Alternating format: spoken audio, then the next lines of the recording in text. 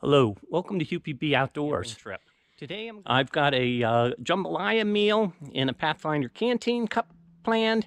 I'm a little scruffy. The barbershops are closed. We're fighting a virus, and we're just going to social distance in the woods. Um, my mom discovered this channel, and I told her I was going to take her camping with me, and I'd like you guys to come and join me as well.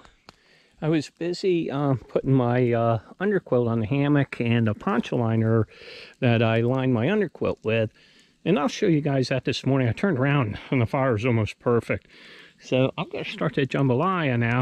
Starting the jambalaya, first of all, I'm going to do the holy trinity of Cajun cooking. Onion, celery, and green pepper. I'm going to saute that in a little bit of uh, um, olive oil. At that point, I was going to put my uh, venison in, start browning that, but uh, I don't have it. So it's just going to be andouille sausage and uh, shrimp. It's still going to be a good jambalaya. So I'm going to put my uh, sausage in then, uh, then pour my water in, let the sausage and the uh, Holy Trinity um, soak into that water real well, along with some of my Creole seasoning at that point and um, and then I'm going to add uh, five minute rice and the shrimp. And well, I'll add the shrimp a little bit in that seasoned water. The shrimp are already pre-cooked and frozen, and um, and then my five minute rice. And the shrimp will get a little bit of that Creole flavoring, and the uh, five minute rice will soak up the water. Now, in my Creole seasoning, I did add some gumbo filé, and that's going to thicken up the, the water a little bit. Okay, guys, I think I got this camera set up where you can um, see, the light was a little bit tricky. Um, I talked about a cutting board in the past and uh, not having one, I figured up I can use the bottom of my Cusca for now. Um, for some of my viewers that don't know what a Kuska is, it's basically a wooden cup. It was really traditional um, in uh, Europe, Denmark, Sweden, um, parts of Russia, uh, uh, all across the, the northern part of uh, Europe, and it's usually cut out of a birch knot. Now this one was probably machine manufactured. Someday I'll cut one myself, um, or make one myself. I'd love to, but uh, I have not carved one yet. Okay,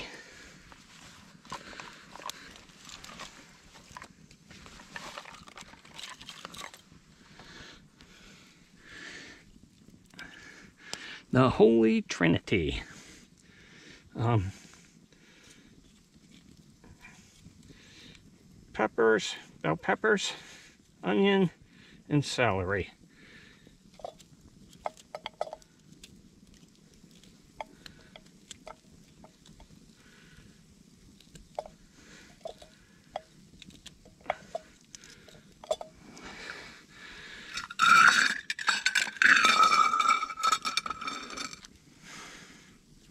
I know I'm cutting towards myself.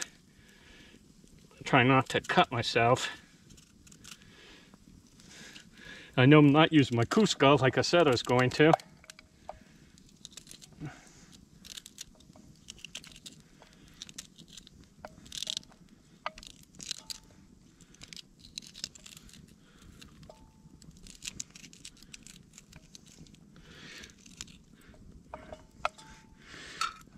more bell pepper.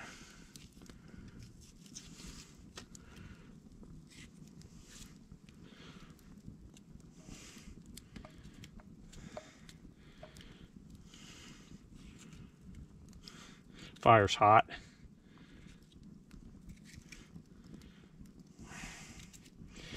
And cut that up.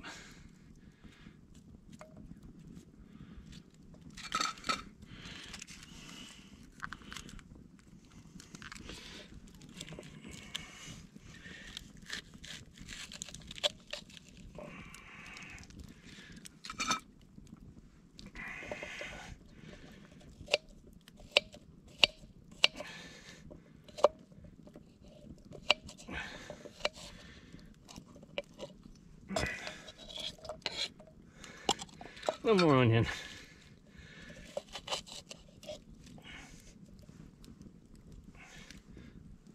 Not that onion.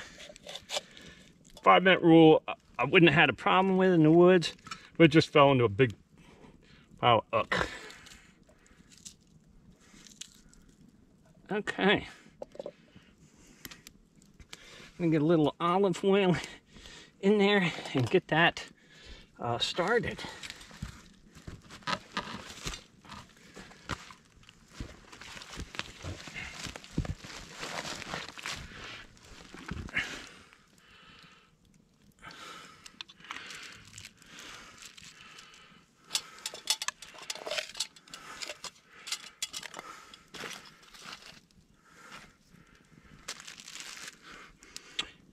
I'm just at that in Nicole's. Uh, I'm gonna watch that.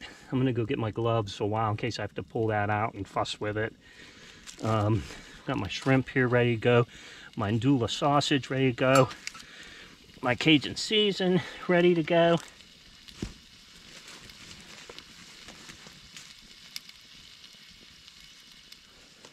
I didn't realize I wasn't recording. What I just got done doing was um, adjusting some coals under my cup and then I went ahead and added my uh, andouille sausage. So the Holy Trinity, onion, bell pepper, and celery's uh, simmering nicely. I added my smoked sausage.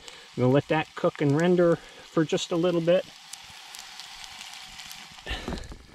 And then uh, I don't know. The camera wasn't recording. I at least wasted five minutes of, of time here. Um,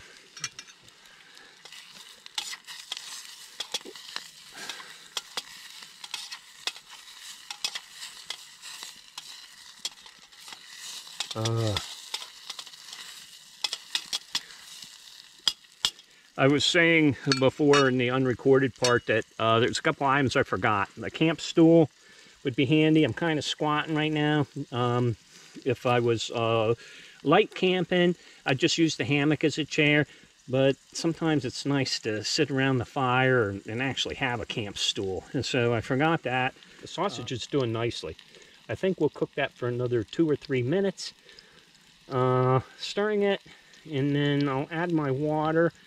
Uh, let the water infuse with all those flavors, and I'll also add my seasoning uh, my Creole seasoning.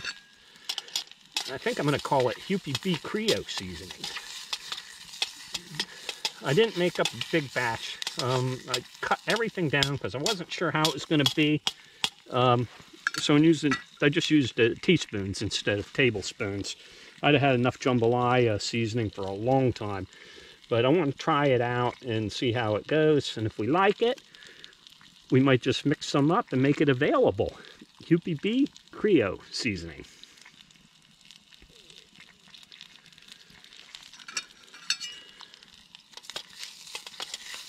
Oh, guys, this is turning out great. That sausage is rendering down nicely. Just another more minute in uh, water and seasoning. Let that uh, boil uh, I'm going to let the water come up to temperature, let all those flavors infuse in the water. Then I'll add my shrimp and my rice, and we should be good to go.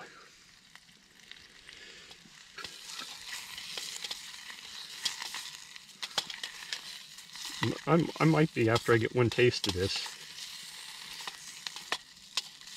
Ah, oh, oh, oh. Um, water. Okay, I pre-measured my five minute rice, and I know that if I read it straight, not backwards, oh, I'm gonna need, it's a one to one ratio, and I got two thirds of a cup of uh, rice, so I'm gonna use two thirds of a cup of water.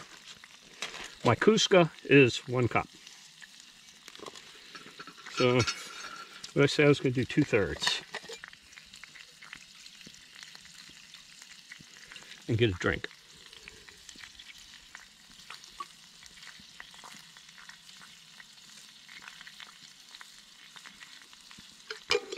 I think Huepy-B was dehydrated.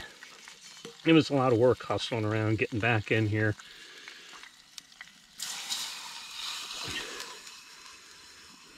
Now I'm just going to let that water, it's pretty cold, let it come up to uh, a boil. Oh, uh, this experiment. I really don't know how much of this Creole seasoning it's going to take. So, I think I'll just go a little bit more. We'll see. Okay, the water was cold. We'll let it come up to temperature. Now, these are unprecedented times. Um, corona is going on right now.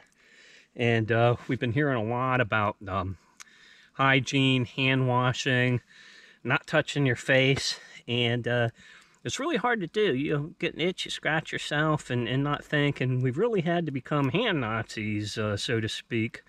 And I hope it didn't offend anybody. But what I mean by that is we really just have to uh, police our hands and, and watch what we're doing. And I got into the subject because I was going to say, I got a great cure for not touching your face. Mix up some of this Creole seasoning, have it on your hands, and then itch your cheek. I'll tell you what, your cheek burns. Do not touch your eye. Do not touch any other uh, uh sensitive areas. This Creole seasoning will stop you from scratching your face or touching yourself anywhere, for sure just a burns. In fact, uh, it had me sneezing like crazy yesterday. I had to, um, I was doing it in my kitchen. I had to turn on the uh, um, exhaust above the oven just to get the fumes out of the way so I wasn't sneezing. Um, I'm not going to tell you all the ingredients in there, but I got white pepper, black pepper, cayenne pepper, paprika. Um, it's just a real good Creole seasoning. Oregano, basil, thyme, or thyme, gumbo filé. I forget what else but um, I've got the recipe at home. It is duplicatable.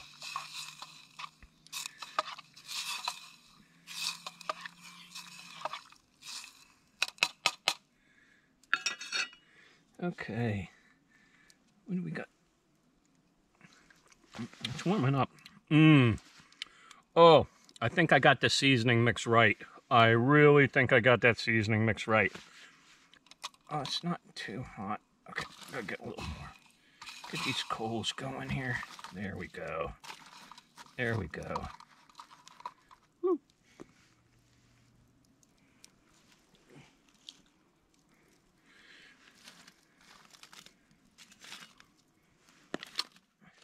Well, it's not quite up to a, a boil yet. It's heating up pretty nicely. But I'm going to add my shrimp. They're still frozen. It's going to take all the heat away from my water and uh, let me get back up to temperature, um, boiling, and then we'll add our rice and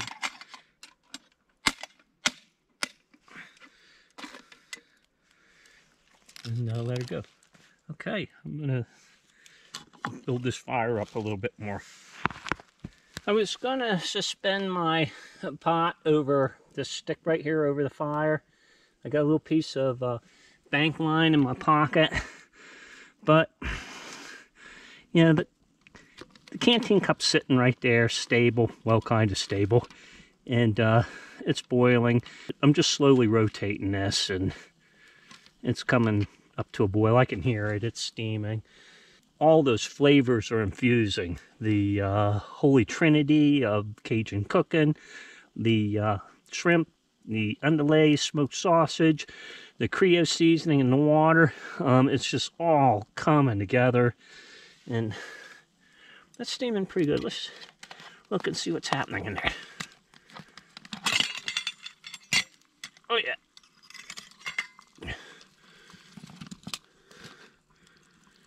You know what? I think we're at a place that I may have lost a little bit to steam. Just going to add a tiny little bit of water. And then my five minute rice. Now, I think I'm going to bring this uh, canteen cup over here a second to pour that in there.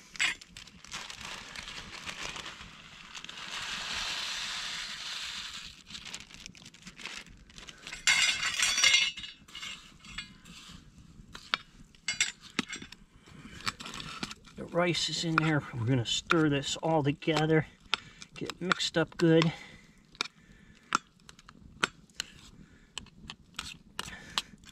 And so five, I'm gonna put the lid back on.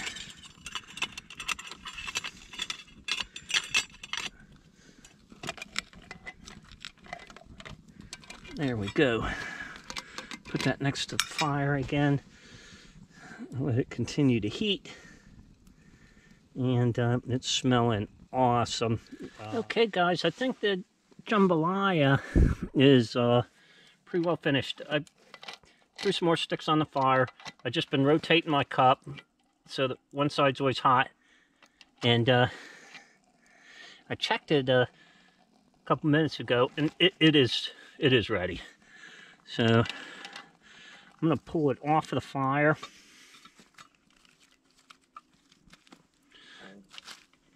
And I'll show you guys.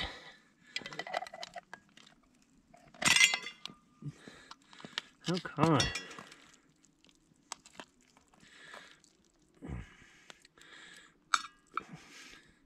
Get some sausage. There we go. A fresh made jambalaya in a uh, Pathfinder canteen cup available from Self-Reliance Outfitters. Doesn't that look good? I'm going to let it just sit and rest for a minute and cool off. And then uh, we'll give her a taste. I know I'm going to want a little more. We'll just throw another one in there. All right.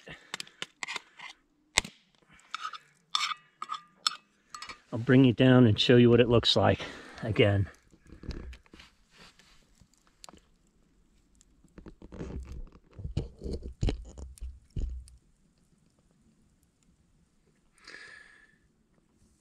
Camp jambalaya made with fresh ingredients. I used a five minute rice instead of a 20 minute rice. But if you wanted to sit around the campfire all day and cook, you could do that. And I don't mind doing that. But here is my Camp Jambalaya fresh ingredients. I'm going to have a taste. I don't know if I'm in the camera shot or not.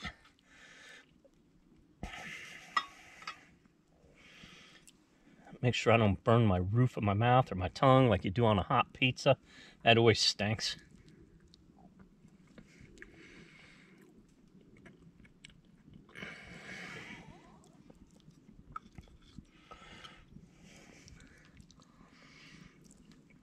Mmm.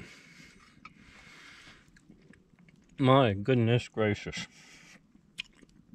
That beats anything that came out of a package that you just add water to. Jambalaya. I'm going to sit here and eat this, chill out a little bit, build the fire back up,